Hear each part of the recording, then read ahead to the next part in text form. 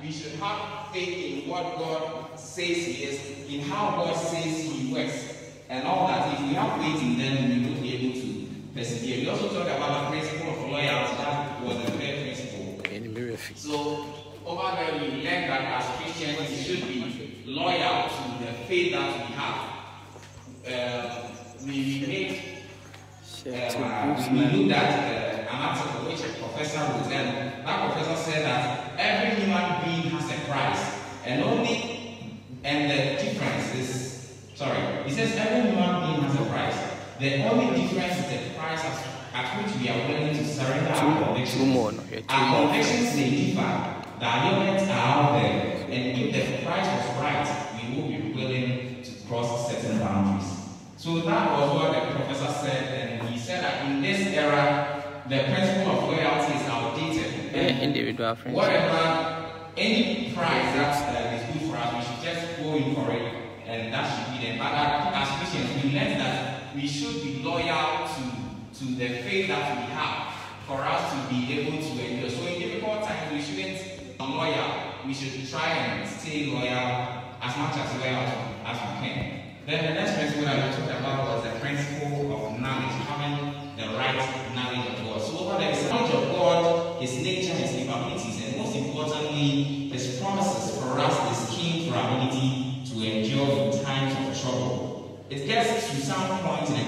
a Christian's life where no amount of words from a colleague or even a preacher will be enough to sustain or keep you from trusting in the promises of God. And in those circumstances, So to only now, the so, things that we were able to commit into our minds and into our hearts and believe them strongly are the things that will be able to sustain us in those times of difficulties. So as Christians, if we want to know how to uh, how to endure, if we want to get this virtue of endurance, then it means we must get the right knowledge of God. If we do not have the right knowledge of God, we won't be able to endure to some point in time, then we will give up because of our lack of knowledge.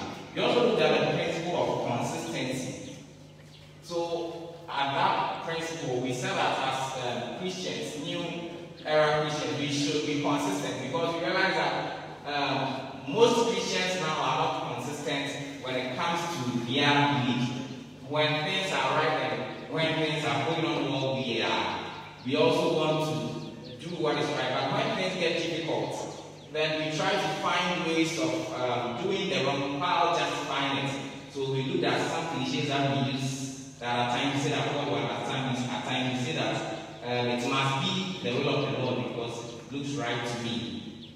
At times we say that we don't see any wrong, anything wrong with what we are doing. But deep down we know that what we are doing is not what God will pass over. So we should be consistent as Christians. We also look at the sixth principle, which is the principle of determination and long suffering.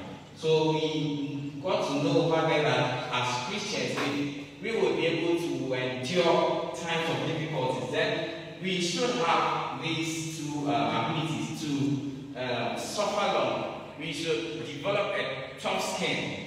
We should try to find ways of adapting to difficult situations because we, we, we read from scripture that things get difficult as time goes on. At times, um, things will get difficult and we may meet difficult times. But if we do not have this virtue of determination we, do not have the ability to suffer long, we are going to give up at the end. Then the last principle that we looked at last week was the principle of calmness and contentment. We looked at that principle while we read 2 Corinthians chapter 12, verse 8 to 10. Over there, Paul said that he had prayed three times over something and uh, he, God told him that he, he was not getting a response. So God told him uh, his grace is sufficient for him. But Paul delighted in it. He was content with the situation that he found himself in and he was able to endure that. Although he didn't receive the answer that he wanted, he was able to endure that difficulty to the end. So these were the, the seven principles we were able to look at at the level one basic principles. So today we are continuing with level two, and level two are named it the level of empirical application. a level of empirical adequacy. So at this level, we look at certain key biblical characters that were able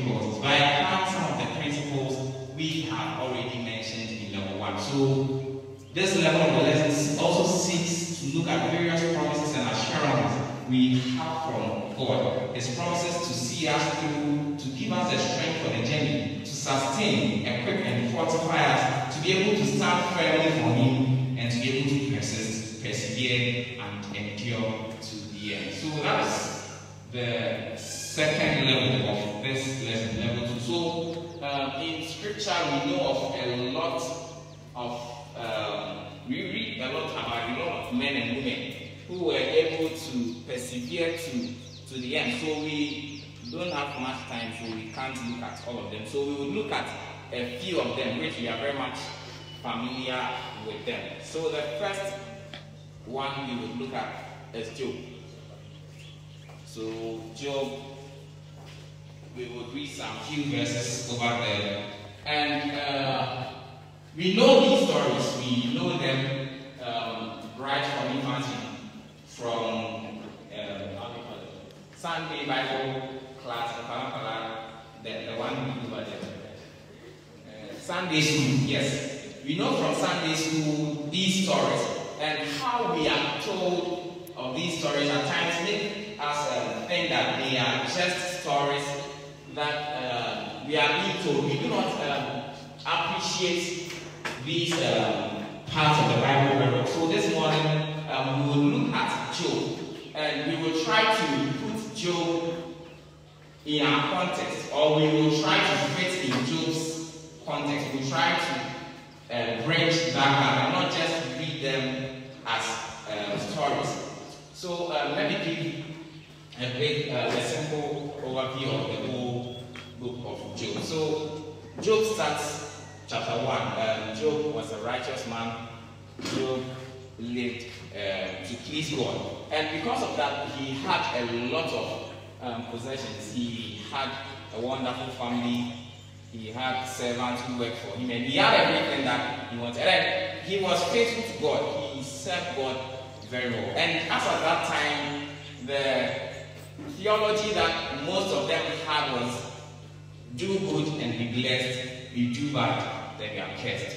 So that was the, the mindset of almost everyone at that time. So if you do good, you'll be blessed. If you do bad, you'll be cursed. So Job had uh, done his best to do good at all times. He was making sacrifices to God because he thought that his children could have sinned at certain point in time. So he was doing everything he could um, as a righteous man who would please God. So um, it got to a time where Satan through his, uh, uh, he was roaming and he went to where God and his angels had met and some conversations went on. So finally, finally, things began to get difficult for Job. So he started losing his family, he lost everything. He lost everything that he had.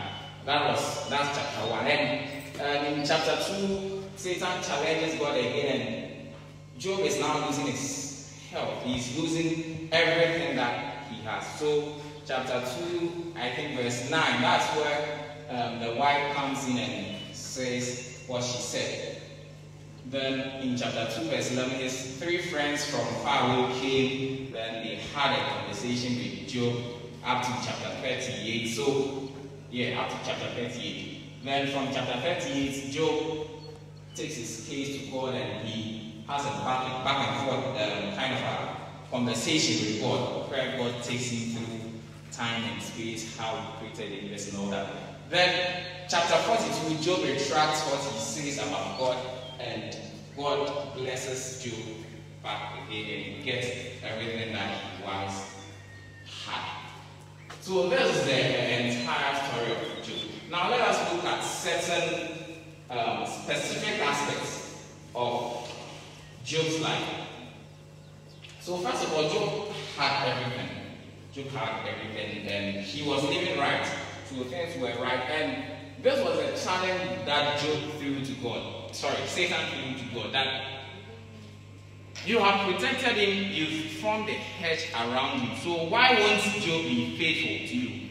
So um, God had to remove the hedge that he had formed around Job and to expose Job so that Job could be vulnerable, so that anything could happen to Job. So that was when um, things began to fall apart for Job. So Job began to lose his work and all that. Um, we may not be able to appreciate this world because maybe at this level we don't have work, we don't have jobs that we do. But um, those of us who are here, who are working, um, just pause for a moment and think of how things would be if probably right after year you have to get a call and you have to be told that your, your, your contract or whatever has been terminated. Then after that, uh, you get another call, um, your house is fire. Then you get another call that um, you've lost all your siblings. Just take a moment and think of the possibility, some of the things that could happen. Do you think that after these three calls, you'll be able to still hold on firm to God? Do you think that after this, and let's let's listen to what Job said. After he had all these coming in, Job chapter 1, verse um, 13. Okay, so 13 up to 20, but um, let's jump to 22. Job 1, uh, 22. Maybe you can let someone read. Through all this, Job did not sin, nor did he grieve God. Amen. So after he had lost his source of living, after he had lost everything, his servant, after he had lost all his ten children, scripture tells us that through all this he did not sin. And also he did not what? Blame God. Sometimes things get difficult and we, we begin to wonder whether it's, it's true that God is really the one in control of everything and we, we begin to have some thoughts. And at times we even, some people blaspheme against God. Because um, now we have some people who claim that they once Christians and they believe in God and uh, they had some challenges and they expected God to help them and God did not help them. So because of that they are saying there is no God. We have I know people like that who, who have faced difficulties and because of that they lost their faith totally. But Job 122 tells us that after all these things, Job did not blame God.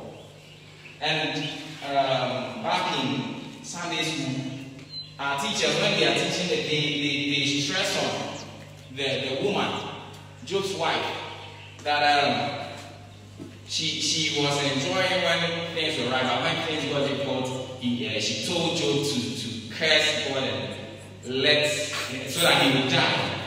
So at times we criticize the woman, but I want to appreciate what she felt um, last year, December, when a woman in our local communication lost a child. The woman is should be she should be in her 70s or 80s, and her child was 47 year 47 years old. On a regular day, the woman is a very funny woman she's very cheerful and all that. But after she lost her child and we went to visit her, you could see the pain and anguish that she was going through. So that was when this struck me that look at how cheerful this woman is. And one child that she lost has changed everything for her. And she has been crying throughout. She has been crying throughout. So I imagine a tenfold of that what the woman was going through as at that time. And you can't bear it. It's difficult. For just only, only that aspect, 10 children, to lose 10 children at the same time, most of us wouldn't have even survived to get to even chapter 2. We would have just ended everything at chapter 1. But the woman was able to endure. I'm not saying what she did at chapter 2 is the best, but at least we should appreciate her a bit some more. That she was able, she's a woman and she was able to endure. And she was able to endure until the time that the only person she had was also about to die. That was when she made that statement. So in times of difficulties, Job was able to stand his ground and he did not blame God for that. The second thing is that Job suffered for some time. He suffered for about a year. That, so because in chapter 7 verse 3 he talks about suffering in months. So some scholars tell us that he suffered for some months or probably even up to a year. So um, everything came back to, to him. So at chapter 2, verse 11, Job had lost his children, his source of income, his servants, and everything that he had. And now he has um, sores all over his body. So his friends, the Bible called them three friends, although later on we get to find out there is another young But his three friends come to him and they don't speak for seven days. And they are all sitting there, no one speaks. Until Job begins the conversation. So Job begins by saying this. Um, this is what I know. That God is just. He runs the universe, universe on, on just principles. So if God is just and he runs the universe on just uh, principles, why is it that a good person is suffering? So that was the opening of the entire conversation. So these three friends, Eliphaz and Zophar and Bildad. So Job speaks, then the other one responds, then Job speaks. The other responds, Job speaks, then the third responds. So all these friends were also under the impression that do good and be blessed, do bad and be cursed. And since we see that Job, you are being cursed, then it means you've done something wrong. So aside all the um, things that Job lost, he is also facing wrong accusations as well. That you have done something wrong. But Job also knew that he hadn't done anything wrong. So he took the fourth young person, that is Elihu, to, to discern this. That yes, it's true that God is just. It's true that if you do good, you bless, you bad, and you curse. But he continues to explain to them that it's not as straightforward as it is. Sometimes um, God is just to know that we could do good, but still things could be difficult for us. Things could go wrong for us. So um, after Elihu's uh, service, then Job now went straight to God and he started having that back and forth with God. That was where God showed him that I am the creator of the universe. Where were you when I was creating this? How, do you know how this happens? Do you know how this happens? So God had to take him right from the beginning of time to the present before Job got to understand that things are not, we, we are finite. We are finite. We don't know everything. So things are not as, or things don't go as always as we expect them to go. There are sometimes we could do right and still the wrong will come to us. So um, that is a brief overview of how um, things went on in Job's life. Then later on, we, were, we, we, we found out that uh, Job had everything that he got everything that one he once had. So some principles that we could learn from from Job. We, we see that in times of difficulties and all that, um, he was loyal Job was loyal to God. He trusted in God. Um, he suffered long. And he had a sound knowledge about God and how God works. Although it wasn't that complete, but at least he had some knowledge. Because at the point we read that he did not charge God with anything wrong. He did not charge God with any wrong. And in level 3 we will talk about this a bit when we talk about the sovereignty of God. So that is briefly about Job. So the next character that we will look at are four. So Daniel, Shadrach, Meshach, and Abednego. We know this story also very well from Sunday school.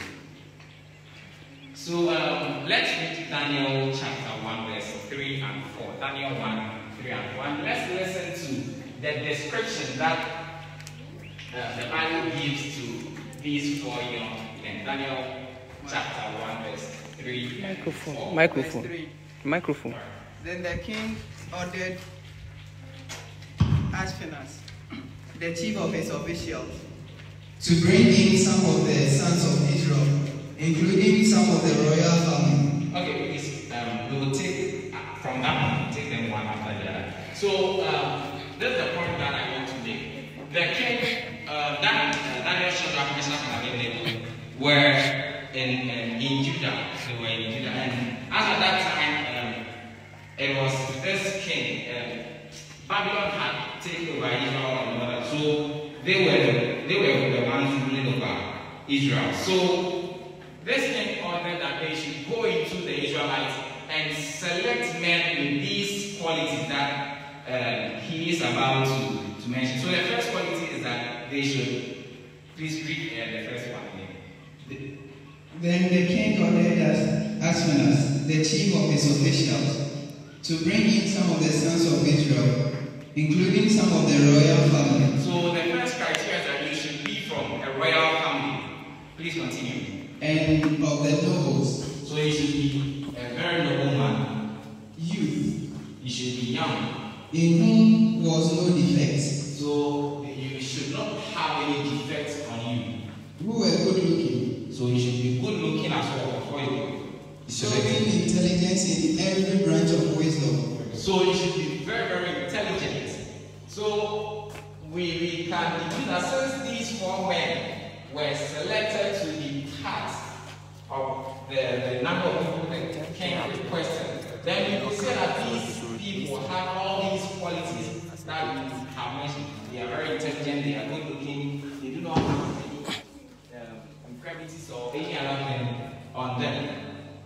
So um, we this and I, I, I just compare it to our, our contemporary world. So it's like most of us here, we, uh, we are young, some of, we are good looking, we are intelligent and all that.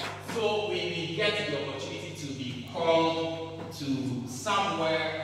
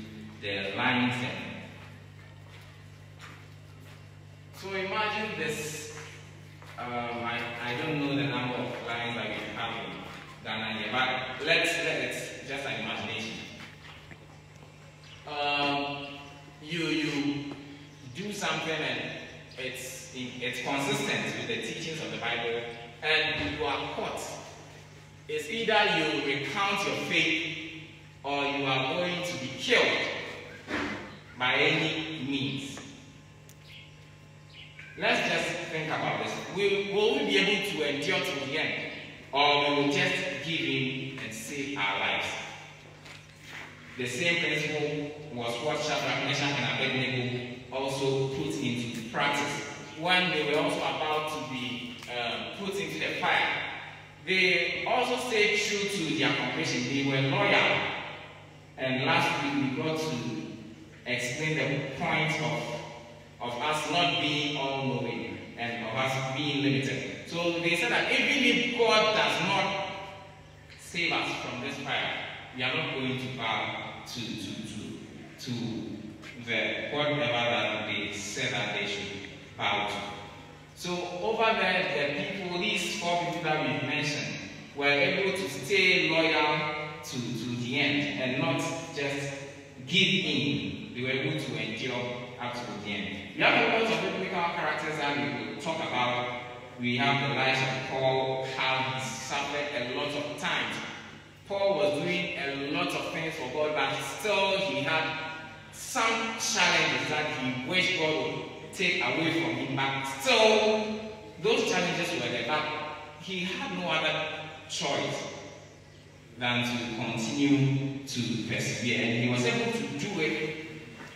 And if you read about what some of the things that Paul went through, it's, it's quite amazing. But through all those things, he was able to persevere to the end. So we could look at the lives of Stephen, Abraham, Ruth, and all those other biblical characters that were, that were able to live and endure up to their last prayer. So before we move on to the next level, I would like to read to you uh, the biography of um, everyone. She is Annie Johnson Flint. Annie Johnson Flint. And her biography was written by Rowland Bingham. Um, it's a 60 page book, but I tried to um, summarize it into about two or three pages. So please um, follow me with your undivided attention as I read her biography. And at the end, we will look at how she began. That Annie was born on Christmas Eve in the year 1866 in the little town, of Vineland, New Jersey, to Eldon and Jim Johnson. They welcomed that Christmas present as the greatest ever gift. Annie lost her mother during the delivery of her younger sister when Annie was three. Their father, who was suffering from an incurable disease, took their children to board with the widow of an old army comrade who had been killed in the And they stayed there for three years. They then went further to stay with the Flints a little by the intervention of their Aunt Susan. Mr. and Mrs. Flint were two Christians and love reigned in their home. The two girls were taken right to their hearts and loved as though they were their own flesh and blood. The daily training was thorough, both in the Christian and domestic sphere. When she was 14, the family went to Camden, New Jersey, and there the two girls continued their schooling. There was nothing special to mark the years that flew by that time. She was very fond of reading and made good use of the adopted father's library. She was blessed with the ability of coming up with brilliantly written poems. Whether by nature or through her early Christian experience, Miss Flint was generally disposed cheerful and optimistic. She looked on the bright side of life and she was quite fond of jokes and was able to get as much enjoyment out of life as possible. She had a generous nature and was ever ready to share what she had with others and ever more willing to grant favors than to accept them. Finishing her high school, she spent one year as a normal teacher and then had a position It was a great temptation to begin earning money, but her adopted mother, but her adopted mother was failing in health and had had one slight stroke. Annie felt that she was really needed at home, so she started teaching in the primary class in the same school that she had attended as a girl. According to her contract with the normal school, she, she taught for three years. Though in the early second year, arthritis showed itself. She tried several doctors in turn, but it still grew worse until it became difficult for her to walk at all, and she had to work to finish out the third year. After that, she was obliged to give, give up her work, and then followed three years of increasing helplessness. The death of both her adopted parents within a few months left the two girls again alone. There was little money in the bank, and, twice, and the twice orphan children had come to a real rescue place in their lives. Her own parents had been taken from her in childhood, and her foster parents would pass away. Her one sister was all too frail and struggling to meet her own situation bravely, with a pen pushed through her bent fingers and held by swollen joints. She wrote first without any thought that it might be an avenue of ministry or that it would bring her returns that might help her in a support. Her verses provide a solace for a long for her in long hours of suffering.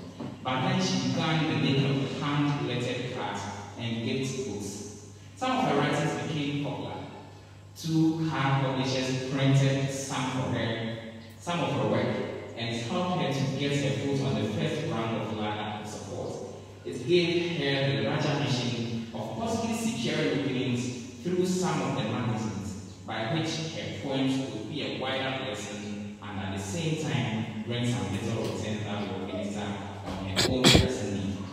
In the later in her later years, nine soft pillows were carefully arranged on her bed for use in protecting the exquisitely sensitive pain-smitten body from the normal contact of the head clothing.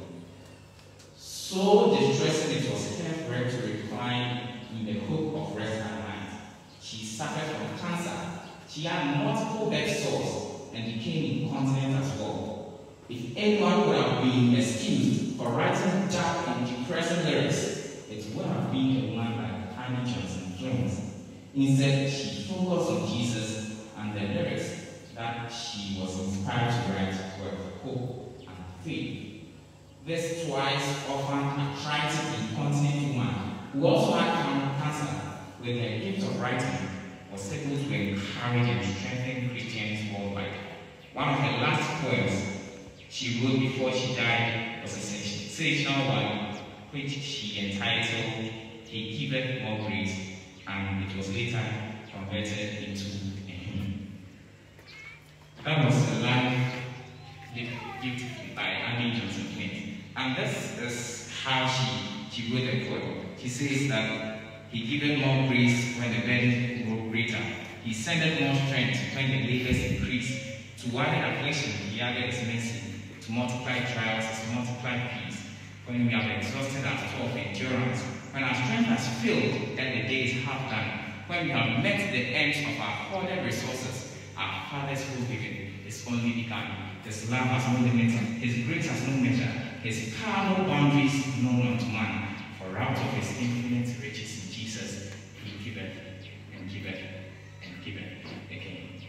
And this is what John Newton also had to say after he had almost drowned in a sea and he had a shipwreck and a lot of things were happening in his life. This is what John Newton said. He said, Be gone unbelief, my Savior is near, and for my relief will surely appear. By prayer, let me wrestle, and he will perform. With Christ in the vessel, I smile at the storm. Though that be my way, since he is my guide, it is mine to obey, it is his to provide. Though systems be broken and creatures be filled, the words he has spoken shall surely prevail. His love in time past forbids me to think he will leave me at last in trouble to sing. Each sweet Ebenezer I have in review confirms his good pleasure to help me quite true. Why should I complain of want or distress? Temptation or pain, he teach me no less. The heirs of salvation I know from his word. Through my tribulations must follow their God. Since all that I need shall work for my good, the bitter is sweet, the medicine food, though painful and present, it will cease before long. And then, oh, how pleasant the conqueror's song. To other affliction he added his mercy, to multiply trials, his multiplied peace. So these people have been able to live, and their lives were difficult at certain points. They had to face a lot of challenges physical, material, emotional, spiritual, from all different angles. But they were able to endure up to the end. And if that is so, then this is what Isaiah tells us. It says that do not fear for I am with you. Do not be dismayed for I am your God. I will strengthen you and help you. I will uphold you with my righteous right. This is what God is telling us this morning. That we should not be afraid. That is his promise in scripture. That in difficult times he's going to uphold us with his righteous right hand and he's going to help and he's going to strengthen us. So that is the second level, the level of empirical adequacy. So we move on to the third level, that is the level of experiential relevance, the level of experiential relevance. So at the third level, we seek to pull all the principles that we have in level one into perspective. We will look at the examples and the empirical evidence provided for us in level two that we just completed. And we will try to provide practical ways that we can stand firm, that can help us to stand firm in whatever situation find ourselves in. So we have now looked at the basic principles that we need as Christians for level one and for level two. We have looked at some evidences we have in scripture about how some people found themselves in extremely difficult situations and God was able to come through for them. So we know this. So how does it play in our lives? How, how do we go about it when it, it is to come? When difficult times are to come? How what should we do? What can we do so that we will be able to endure to, to the end as Christians? So uh, at this level I have two major points here. So the first one is knowledge and the second one which was pointed out last week by Brother Moses as a social support of the church. So the first one is knowledge, then the second one is the church or social support. So we have said that it, gets to some difficult points in our life where the only thing or the major thing that can sustain us is our knowledge of God, is our knowledge of how God works, is our knowledge of God's plan for us, and it's our knowledge of all these things. So if you have the right knowledge, it won't be able to sustain us greatly. That, that would be the first line of um, defense for us if we are to, to meet difficulties. So under knowledge, I have four points here. So the first one we have to know is the principle of sovereignty or transcendence. The second one is the principle of concurrence immanence, and these two are somehow linked. These two are somehow linked. So this is the principle of sovereignty. So sovereignty teaches that Christians, so sorry, the sovereignty in the Christian teaching is that God is supreme, is a supreme and sorry. sovereignty in the Christian teaching teaches that God is supreme and has authority over all things. So that is the first point of sovereignty. God is supreme and has control over everything. And the second point is that because of this power that God has, He has the absolute right and full authority that allows Him to do whatever He desires. So that is the first thing that we should know. Christians uh, teach that the Bible teaches us that God is a sovereign God and He has all power in this universe. And because of that, He is allowed to do whatever that He wants. So we will read a lot of scriptures. We have Psalm 115, verse 3, Psalm 135, verse 6, Isaiah 46, 10, Daniel 4, 34, 35, Job 15, 5, and Romans 9, 18, 21. Psalm 115, verse 3, Psalm 135, verse 6. God, so please everyone can read here. Psalm 115, verse 3. But our God is in the heavens. He does whatever he pleases. Amen. The next one, Psalm 135, verse 6. 135, verse 6. Whatever the Lord pleases, he does, in heaven and in earth, in the seas and in all deeps. Amen. So this is just an expansion of the first one that whatever whatever God pleases, He does. So in times of difficulties, this is what should come into our minds first, that God is sovereign. Just as in the case of Job, we, we shouldn't think that if we do right, we will be blessed. It's, it's, it's like a direct proportion something. It's always constant. It will happen that you do right, but God will choose that you will have to pass through some difficult times. So God chooses whatever He wants to do, and He, he does it. No one can um, speak back to Him. As Job tried and God gave him over 60 questions. So Job couldn't answer one. So God does what pleases him. But if you think of this, this could be quite scary. Uh, but what gives us hope in this is that God is a holy God. And although he does whatever pleases him, he does it with, with, with, with a purpose. So let's read Romans chapter 8, verse 28. Romans 8 28 should give us some comfort that it's true that God does whatever pleases Him, but we have uh, hope that He has good plans for us. That's why He does whatever He does. Romans 8, 28. And we know that God causes all things to work together for good to those Okay, so we know that God causes all So the first thing is that God causes all things. So whatever difficulty that we might be facing, we should know that God is sovereign. And I will explain. And it doesn't also mean that we are not responsible in any way. But we should also have it in mind that God is sovereign, sovereign sorry, and He causes whatever that uh, He pleases. But He does it according to His own purpose. And His holy nature makes sure that the purpose that He has is a good purpose for us. So please continue reading.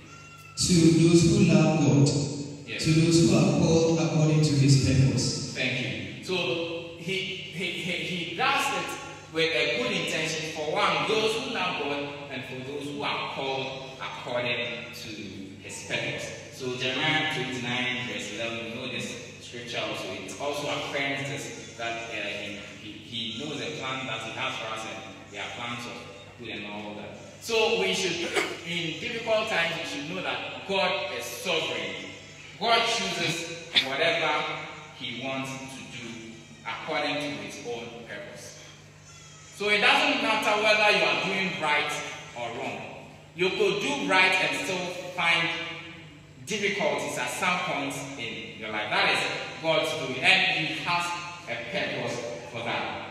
The second uh, point and knowledge and the three that I'll talk about is the principle of concurrence. The principle of concurrence. But before I talk about that, I'll read briefly something that Wayne Grudem wrote in his systematic theology. He writes about deism, D-E-I-S-M. So he says that deism generally holds the view that God created the universe and is far greater than the universe. So deism in deism they believe in the transcendence or in the sovereignty of God. Has power of everything. He continues to say that some deists also agree that God has moral standards and will ultimately hold people accountable on the day of judgment. So deists also believe this. But they deny God's present involvement in the world, thus leaving no place for his immanence in the created order. Rather, God is viewed as a divine clockmaker who wound up the clock of creation at the beginning, but then he left it to run on its own. This is what Wayne Grudem is saying. He says that um, deists, deists are people, they, they believe in God, but their perception about God and his workings through the universe is a bit distorted. So that's what they, they believe that yes, there is a God and He created the heavens and all that, He's all powerful and everything. But they separate the God from His creation. And when I read this, I I related to some points. Because at, at, at some point in time we, we think that uh, God has created the world and but things are happening just randomly. If you have such thinking, then you, you, you, you have a distorted perception of God. This is a deist um, way of thinking. But in, in the true biblical teaching, it teaches that when God created the universe and He is above everything and He chooses whatever that He wants to do, He is also concurrent with His universe. He, he, he is involved in, in, in the creation. He's involved in what He has created. He's involved in the lives of those who, who He has called for His purpose. He is involved in the life of those who, who trust Him. So things are not just happening randomly. That is the second point that you should you should have. You should know that God is concurrent, and the, the situation that I find myself in, it's not just as a result of something random that I did. That is if you really trust me, if you are really doing your best to, to listen or, and to live by His principles. You should know this principle as well that well, I'm doing good and all that, but God is also playing some role in my life which I may not know. So if we keep this principle in mind, it should help us to um, appreciate and understand why some things happen to us at the same time, at, at some point in time. Things are not happening randomly. Last week, um, a woman spoke of um, some church members who were going for a wedding and they had an accident and um, the, the, their preacher who was ill at that time, someone was taking care of that preacher, and uh, the person who was taking care of that preacher also was involved in the accident and all that. So some of these things makes us wonder whether God is really in control, whether God is, is really powerful as He says is. But in certain in such instances, we should know that God is concurrent in our lives. He, he, he, he shapes some of the things that happen in our life. Some things happen that we can't understand. So we should just hope that it's God's doing. And we should just trust and obey because there is no other way for us. So some few scriptures for the concurrence is um, we can read Ephesians 1.11, Colossians 1.17, Hebrews 1.3, Philippians 2.13, Psalm 75 verse 5 to 6, Proverbs 21 1, Ezra 1 1, and Ezra 6 22. So let's read a few of them out. Ephesians 1 11, Colossians 1 17. Ephesians 1 11. Also, we have obtained an inheritance, having been predestined according to his purpose, who works all things after the counsel of his will Okay, so God works all things at the counsel of His will. So we are living our lives here, but we do not know exactly what God is um, preparing us and shaping us and molding us for. But we should believe that in times of difficulties, we should believe that, well, I've done my best to live a good life with God, and this thing is happening to me. But I believe that God has good plans and He will work things according to His own counsel and His own purpose. Then the next one is Colossians 1.17. Colossians 1.17 He is before all things, and in him all things hold together. Okay, so in Him all things hold together. So in Christ, everything is, is made to, to, to, to. All things hold together in Christ. So in times of difficulties, we shouldn't think that it's something that God didn't expect it to happen to us, and now that it has happened, God should find a way and just come and take us out of it or something like that. that if we have that kind of mindset, then we are being deist. We are separating God from His creation. But if we do our best in everything, then we find difficulties. We should have this in mind that God is still working and He's the one who holds everything in this universe. He keeps everything going. So that is the second principle of concurrency. The third one that we should also know is that at times when um, when we face difficulties, we should know that it could be God's voice. It could be God's voice, and God could be telling us that we are not invincible. It could be God's voice, and God could be telling us that we are not invincible. He says that sometimes prosperity can take us away from the very provider of that prosperity. Sometimes prosperity can take us away from the very provider of that prosperity. Sometimes um, when we find ourselves in difficult times, well, that it happens to me. That is when we begin to be the most spiritual aspects uh, of ourselves.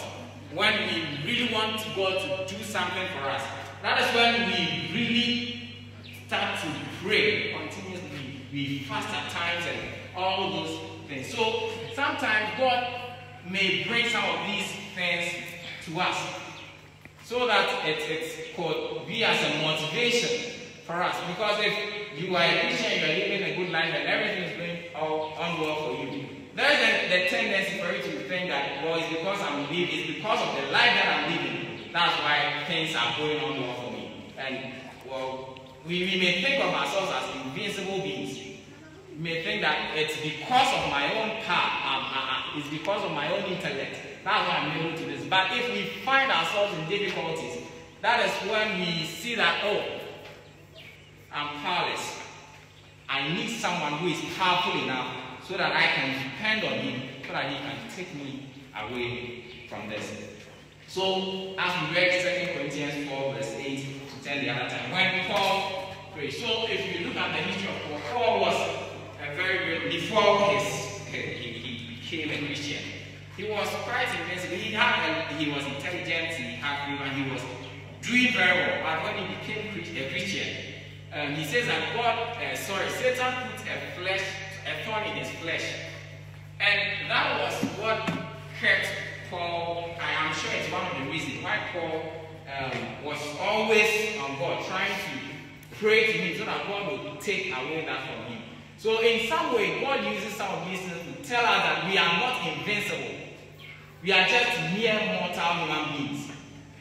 And we need someone who is powerful, someone who is all-knowing to, to help us with some of our difficulties. Um, when COVID um, hit the world, we saw people dying and all that. People were dying, Christians and non-Christians, and people began to wonder whether it's from God or whether God really hears our prayers or not. So one reason that I believe that God let COVID hit us is that it is to show us that we, we don't have any power. Sometimes we, we think that because um, we are able to do certain things and because we have certain knowledge and certain technological advances, we think that we are on our own. But sometimes God lets some of these things happen so that it, it exposes us. Exposes us so that we, we get to know that we, we, we, we are not anybody. We are just mere mortal beings. So um, in 1863, um, Abraham Lincoln, which was who was the president of the US at that time, March 30, he declared a national fast day that that day they should fast and pray. And in his uh, proclamation, let's uh, a brief portion of it. He says that we have been preserved these many years in prosperity. We are born in numbers, wealth, and power as no other nation has ever grown. But we have forgotten God. We have forgotten the gracious hand which preserved us in peace and multiplied, enriched, and strengthened us. And we have vainly imagined in the deceitfulness of our hearts that all these blessings that we that were produced, we that all these blessings were produced by some superior wisdom and virtue of our own. Intoxicated with unbroken success, we have become too self-sufficient to feel the necessity of redeeming and preserving grace, too proud to pray to the God that us. So sometimes when things are okay, we, we, we tend to forget that we depend on God. So sometimes some of these things happen so that God tells us that we are not on our own. We depend on Him, so we should go back and um, depend on Him. Sometimes the death of some people speaks to us when we go to funerals and others. It could hit you that someday it could me over there. So these are all ways that God um, uses to, to speak to us. I remember some few weeks ago, I called my mother and she said that she was traveling to the funeral of her brother. So I wished her safe and honor. So after the call, it just hit me that she said the funeral of her brother. So I started thinking that, well, then it means some time will come when I also get a call. or I also call someone and tell the person that I'm going to the funeral of my brother. So some of these things happen so that we, we tend to appreciate how frail we are. So we shouldn't take um, difficulties as solely bad things, but sometimes they, they serve as certain reminders for us. Then the last principle over there is that we are limited, we are finite, and God is infinite. So uh, we should keep this in mind that we are limited. Sometimes we, we plan our path and we expect that things will go according to that path. Not factoring the external sources into it. So last week we, we got to, since I brought up a point that we should have this kind of mindset that, well, this is what I want. This is what I wish God would do for me. But even if He doesn't do it for me, I'm still going to praise God. Sometimes we leave that caveat out. We trust in God and we believe in God that things will be alright. That um, this difficulty that I'm facing, um, God is going to take me out of it. But we should know that we are finite and we are limited. And we should have in mind that even if God doesn't, it could happen that, that that's not what God wants for us. So if that happens, and even if God doesn't take us out from that, we will still stay true to Him. So these are some of the things that we should keep in mind. We should always remember that God is sovereign. We should always remember that God is so involved in creation. We should always remember that sometimes difficult times are, are God's voice to us, telling us that we, we are not on our own. I should depend on Him. And we should also remember the fact that we are finite and we do not know what may happen. And if we keep these things in mind, they will help us. So the last aspect of this level is that um, after the knowledge that we have about all these things, we should also seek help in difficult times. So that is why that's one of the reasons why the church was established, so that we would have a lot of people with a lot of experiences and with a lot of um, capabilities, and who may have certain um, things that we may be in need of. So um, if we have this in mind and if we seek help from the church, it will also be of a great help to us. Because that's how the church was designed to be. We read from Romans 12 15 that we should rejoice with those who rejoice and mourn with those who mourn. So some of these supports are, are, are needed in times of difficulties. In Acts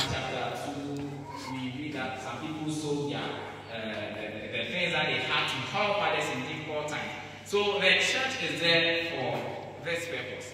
So we should also have in mind that when we face difficult times, we should try and make members of the church aware because they could have certain um, things that could be vital for our survival in, in that state. So that should be the end. Our time up. There's this last bit. So reasons of rewards for steadfastness. Why should we be steadfast? Why should we endure to the end? So the first reason is that if we want to be saved, we should endure to the end.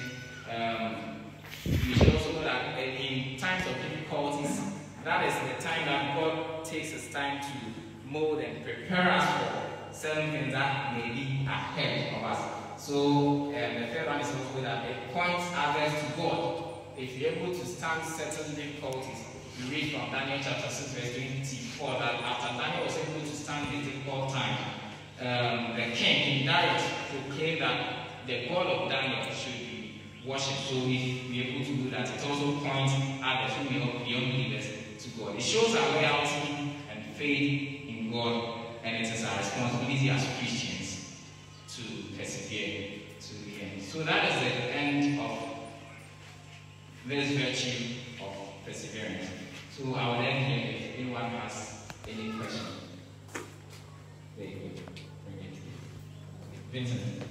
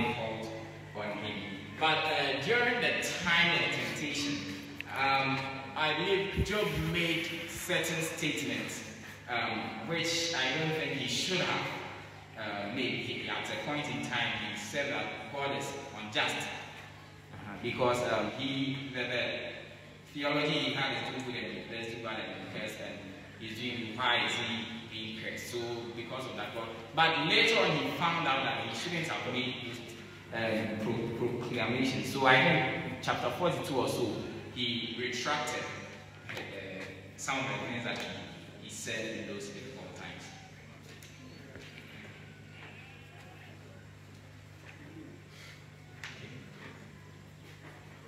Um, I think in chapter 1, we, we read that um, in all this, Job never sinned nor blamed God for things that happened to him. But um, sometimes we go through difficulties so that we are exposed to the to some of the weaknesses in us. Considering the kind of life Job was living, and for him to have been described as righteous before God, it means he wasn't sinning against God. But that does not mean he wasn't also vulnerable to certain things. So this temptation that came upon him was able to reveal some of his weaknesses to him. To the point that he even wanted to go before God um, and have a trial. So it's just like trying to see God that, that, that shouldn't happen. But it appears he was full of himself. He, he knew he was so righteous that he could even sue God and win the case against God. So these, these are some of the thoughts that could run through our mind that we may have to um, go get away from them. So we should know that Probably we are doing well in our lives, in our spiritual journey, we are faring well, but there could be some weaknesses in us that sometimes uh, these temptations come and reveal them to us. Thank you very much. So that was one of the principles that we should know that we are not invincible. We could be living good lives, but there could be some question marks somewhere. So um, Job chapter 4, so this is what Job said at the end. He said that, then Job answered the Lord and said, I know that you can do all things, and that no purpose of yours can be thwarted. Who is this that hides counsel without knowledge? Therefore, I